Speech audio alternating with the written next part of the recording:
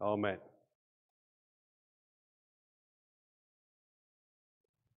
I believe that many of you, if not all of you, will be familiar with the story of Sisyphus, the king of Ephyra, from the Greek mythology.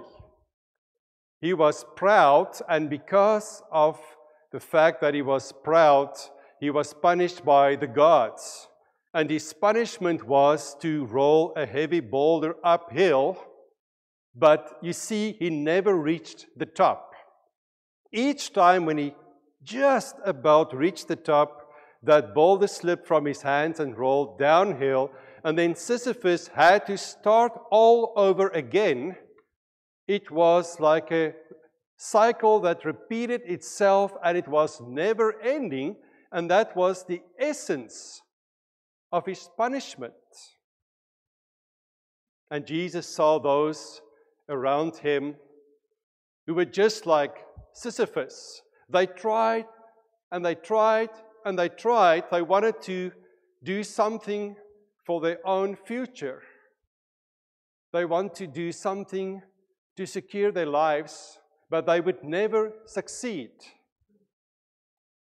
And it was those people that he addressed in Matthew chapter 11.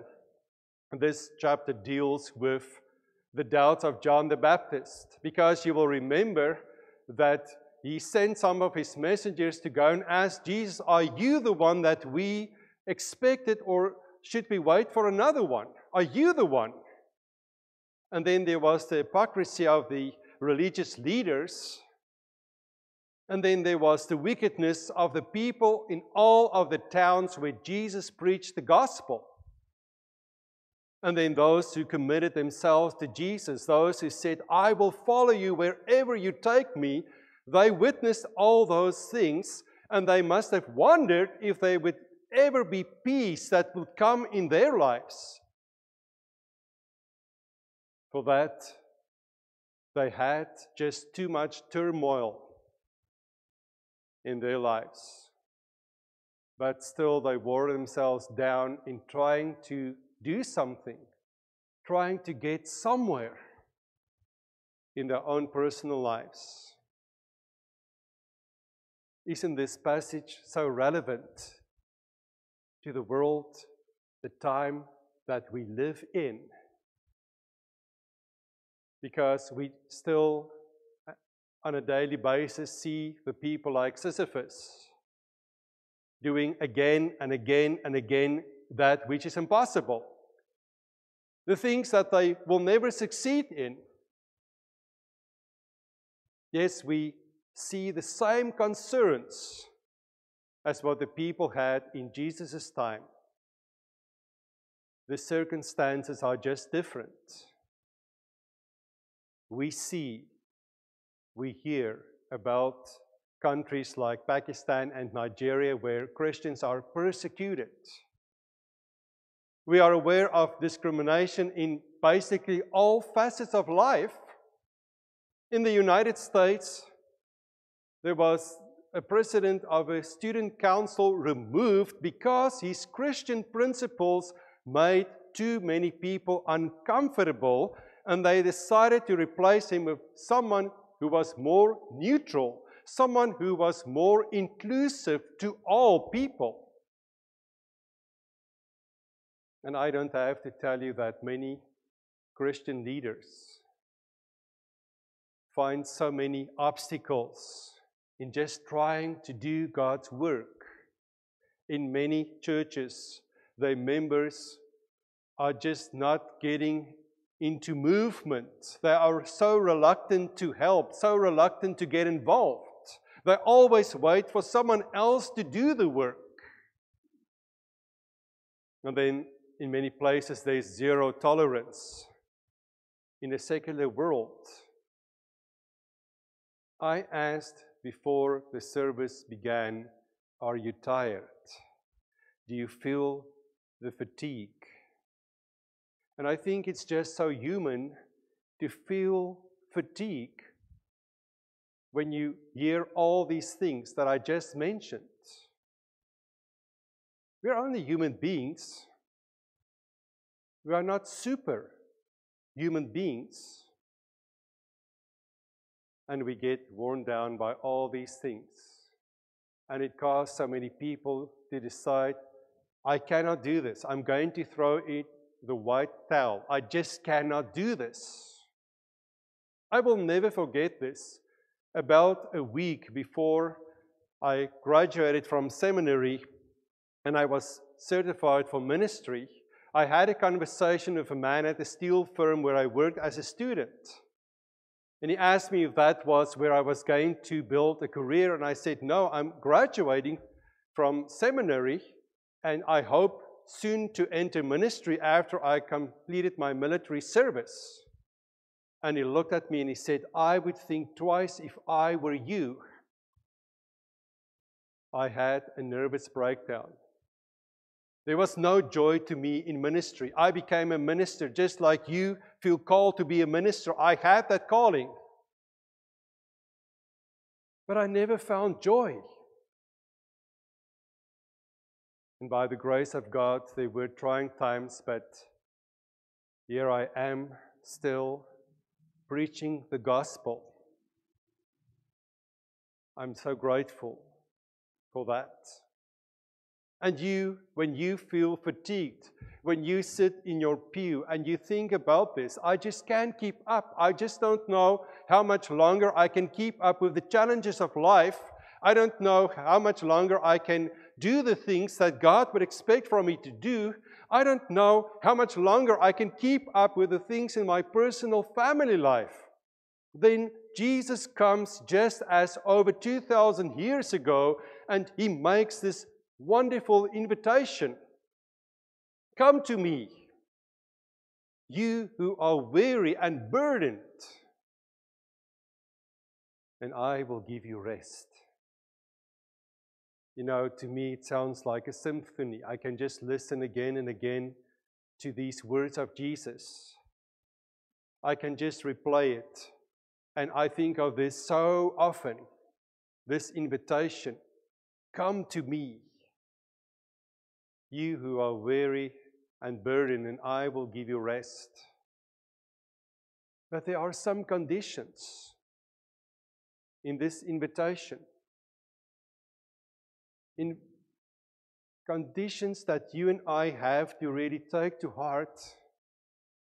And the first is come to Jesus. You see, the words come to me doesn't mean come to Buddhism or Confucianism or to Hinduism or to Islam.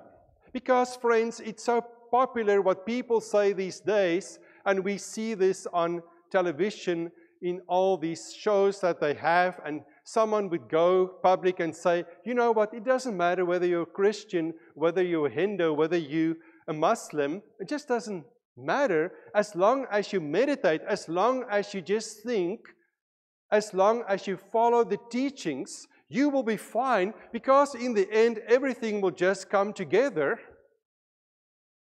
And then we say, no, because no prophet no leader from any other faith would hold the key to success and to the future. There is no other prophet or leader or master, whatever they want to call them, that would give us peace and solace. It is only Jesus Christ, the one sent by the Father, Jesus, our peace, that can bring peace in the hearts of people, that brought peace and understanding and forgiveness to God's people when they wandered in darkness. He's the only solution, the only one.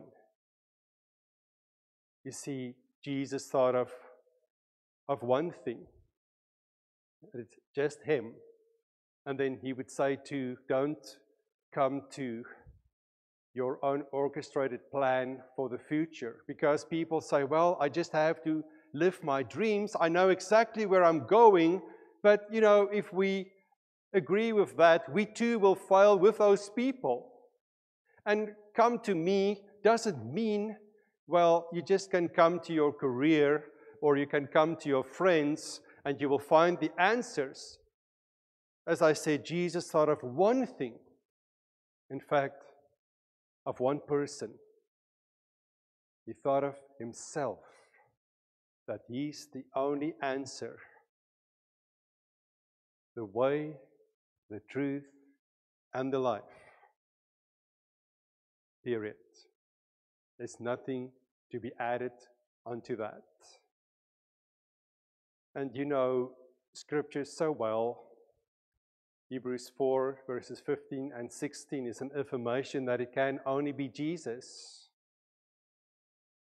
For we do not have a high priest who is unable to empathize with our weaknesses, but we have one who was tempted in every way, just as we are, yet he did not sin.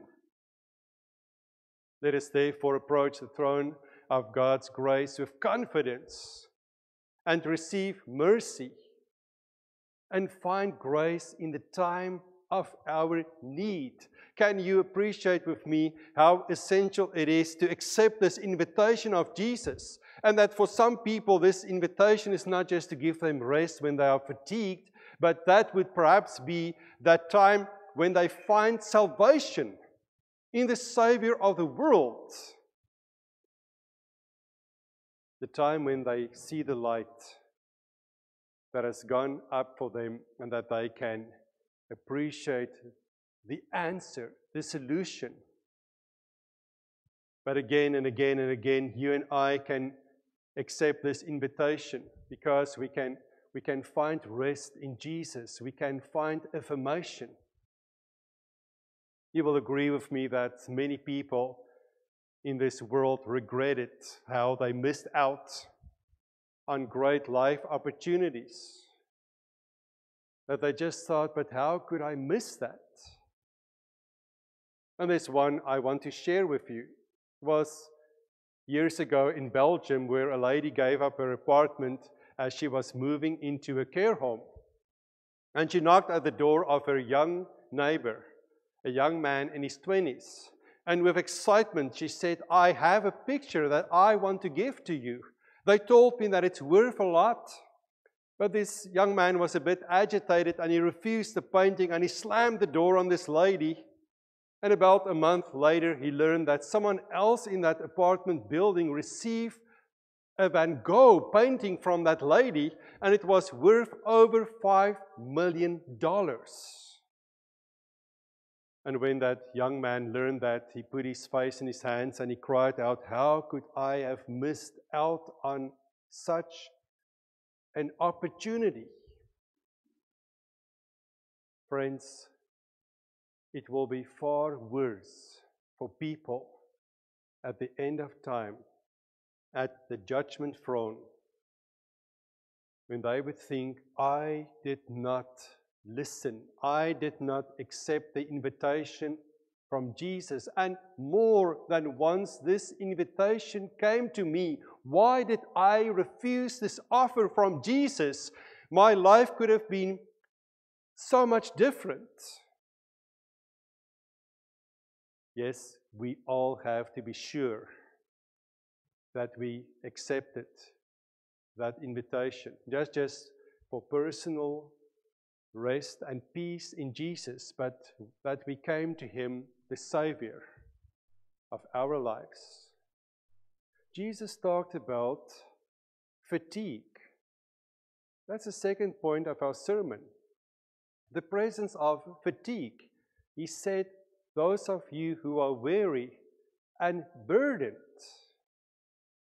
And in some other translations, we read about the term heavy laden. So, what Jesus wanted to emphasize was that you are pulled down by something like fatigue when you are weary, when you are burdened. And you and I need to acknowledge that from time to time we feel fatigue, we feel burdened we feel weary. And to Jesus, there was one cause of that. And that's something that he mentioned so often when he preached about the good news to people. It was sin that caused people to feel so pulled down by life situations, to feel so burdened, to feel so weary. And therefore, he had John the Baptist going before him to preach the message Repent, for the kingdom of heaven is near. You know, so many people don't realize that guilt can drag you down quite a bit. And I don't want to say that there are not other reasons to feel fatigued. But some people don't realize that it's guilt that's putting them down.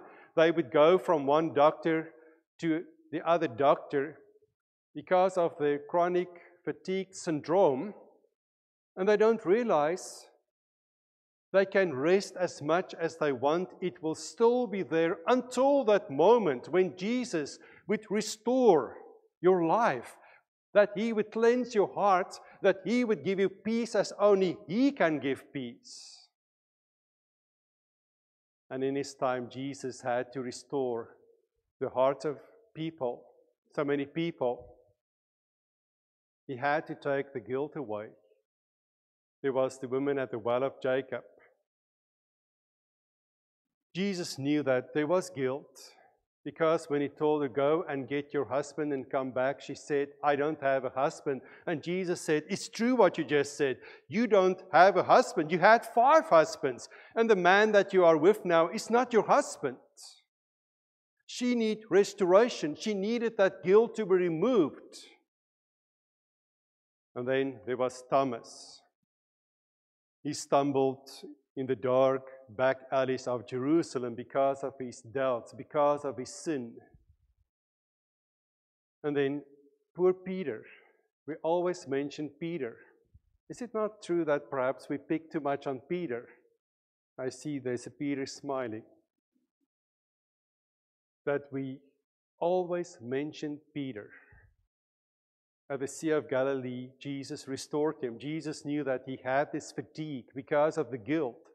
Jesus knew exactly how he felt because he denied his Lord. And Jesus knew that he needed that restoration.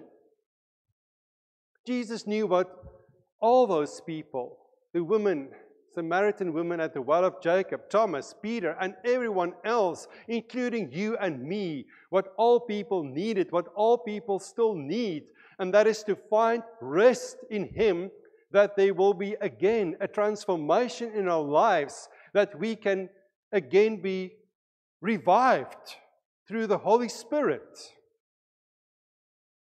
and that we can come into a good place in our lives. And how will that happen for us?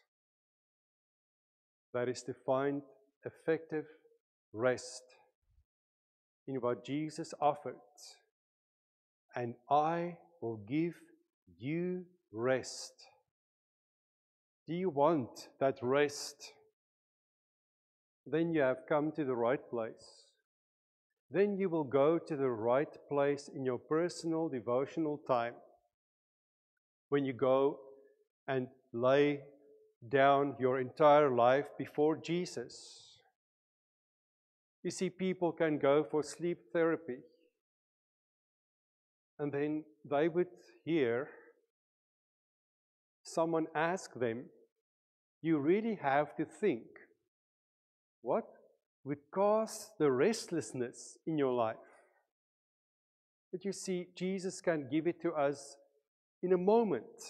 And from verse 28, when we look at the word rest, that is just something so wonderful from the Greek language. It means to refresh or to revive. It means that you can rest after a long day of labor or after a long journey. And I know that we might sometimes pretend that everything is so fine in our lives, but I will tell you sometimes I feel that I try so hard to accomplish the work for God, and then I feel that I don't have any impact. I don't make a difference anymore, and then I need that affirmation, and you need that affirmation when we labor in God's service and we don't see the results. Then Jesus tells us I'm going to change that. I want you to take the baggage, what you carry, including your guilt and your sins. And I want you to place it in front of the cross. You don't need to carry that. In the New Testament, in many contexts, rest had the meaning of the change falling off someone's hand. And Jesus tells us, let's just take those chains off. Because you can't go forward, you can't go backwards. We need to remove those chains. We need to restore your whole being, your whole life. Do you want to do that? Friends, you all know the porters of years back looked like with the wooden frames they had on their backs and what they carried on those frames, sometimes even furniture, and they had carpets, rugs, and they had so many things. And then when you look at those pictures, you would just ask yourself, but how was it possible for someone to carry that load? But you know, spiritually, that might just be the same with us. And Jesus tells us, But I want to give you rest. I want you to remove all these burdens. I want to restore your whole life. You see, each day we have to come to Jesus. Each day he would say, I will restore you, I will lead you to the green pastures. I will guide you to the waters. I will change the situation in your life. Do you want this? Do you want this with me?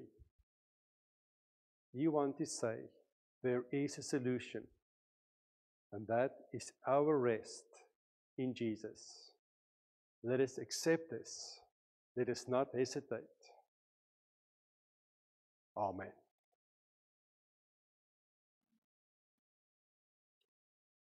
Let us pray. Lord Jesus.